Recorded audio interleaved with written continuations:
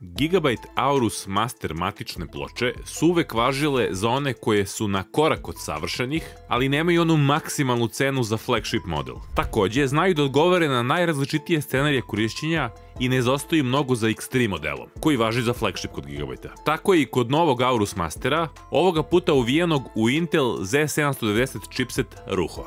Pa krenimo po redu.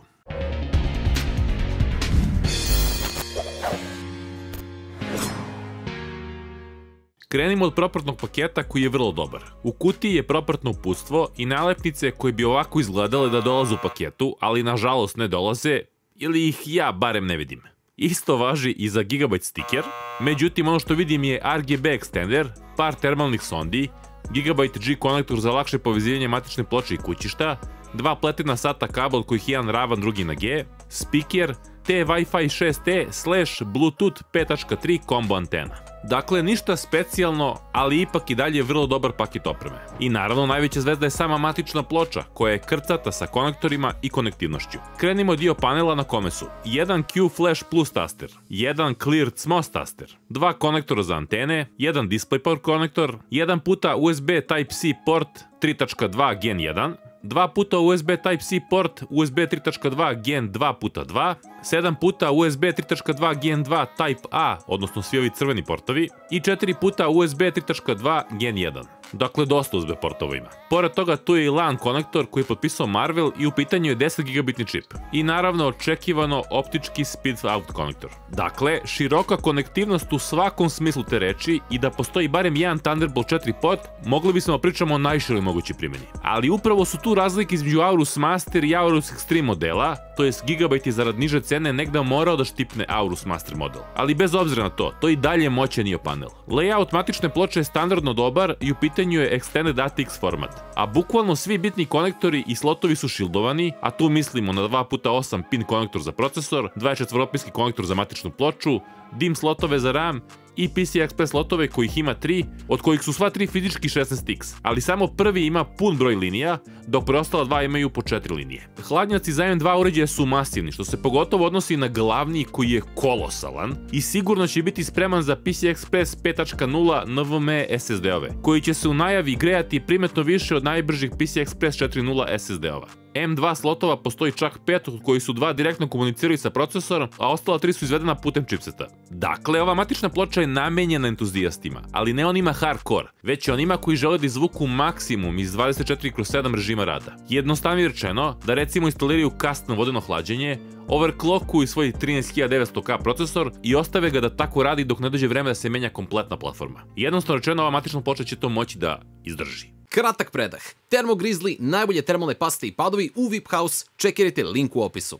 Audio sekcija veoma dobra i tu je dobro poznati SSS Saber DAC koji ima izuzetno mali šum i reći je ogledano iz perspektive matičnih ploča naravno o jednom od najboljih rešenja. Broj ventilatora, to je konektor za ventilatore je velika, postoji više nego dovoljan broj specijalizovanih hedera za ventilatore ili za vodenu pumpu. Kao i par ARGB klasičnih RGB konektora, a pored svega što se vidite izlistano, izdvojili smo ipak da postoji Thunderbolt 4 podrška putem add-in card konektora, za koji se naravno mora kupiti odgovarajuća kartica, pa ako nekome i to treba, opcija postoji. Hlađenje matične ploče je masivno i praktično je skoro cela matična ploča jedan ogroman hladnjak, a svi hladnjači su spojeni sa heat pipe sistemom od 8 mm, odnosno heat pipeom od 8 mm. Reč je o ozbiljnoj najponskoj sekciji koja inače broji 20 plus jednu fazu, gde svaka može da istrpi po 105 ampera. Prilikom testiranja Core i9 13900K procesora, koji smo overclockovali na 5,5 GHz, na performance jezgrima ova matična ploča se bez problema nosila sa konstantnih 300 W opterećenja. Prilikom 30-minutnog Cinebench R23 loada. Dakle, hardcore scenario. Naravno, procesor je vremeno spustio klok na 5350 MHz, ali do toga dolazi usled pregrevanja samog jezgra,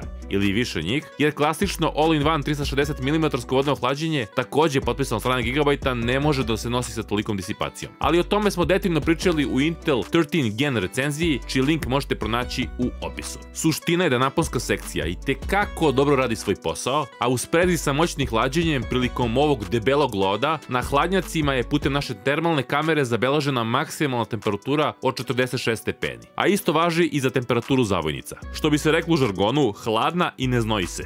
E sad, bitno je da se razume da niti jedna Intel Z790 matična ploča nije pristupačna, cenovno gledano, i cenovna politika je takva da su cene velike, ali i performanse Intel 13. generacije su iste takve. Gledano iz te perspektive, Gigabyte Taurus Z790 Master matična ploča je odlično pozicionirana sa svojih 650 evra, jer zaista nudi dosta i reći je o vrhunskoj ploči, te ako tražite jednu takvu, obavezno razmotrite ovaj model. Zbog svega prikazanog, ova matična ploča je zavrednila X Best Buy in Class priznanje i da odmah naglasim, ovo nije apsolutno Best Buy priznanje kako često neki od vas to tako skapiraju, nego Best Buy u klasi. Dakle, ovo je odlična kupovina u klasi od 650 evra. To jest jedna od najboljih kupovina u tom cenovnom rangu. Da se razumemo, to je dalje skupa matična ploča, ali teško da ćete imati na šta se poželite ukoliko se odlučite za njenu kupovinu i ako znate da je upregnete, da se tako izrazimo. Služit će vas jako dobro i jako dugo. Moje ime je Dule, na X forumu me znate kao Animan, a mi se uskoro vidimo na nekom novom klipu recenziju šta god to bilo. Ćao!